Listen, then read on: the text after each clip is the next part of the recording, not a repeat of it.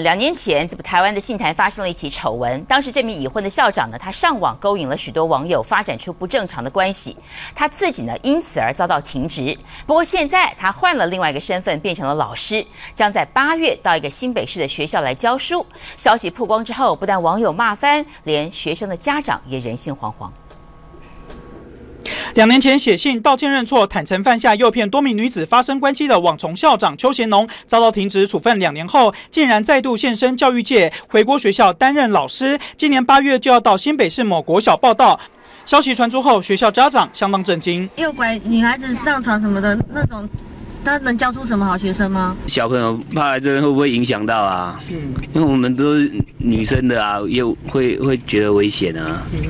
外传这名网虫校长，只要再到学校任教一年，就可以领到全额退休金。退休是不是教育单位包庇，引起质疑。不过校方表示，任用教师并非学校全责，也会担心影响教学品质，引发家长反弹。因此，目前倾向让邱贤农担任学校的行政工作，不会安排任何的教学职务，避免让邱贤农在第一线与小朋友接触。是依法呃程序的部分，我们就是呃就是接受，哎他调进来我们学校。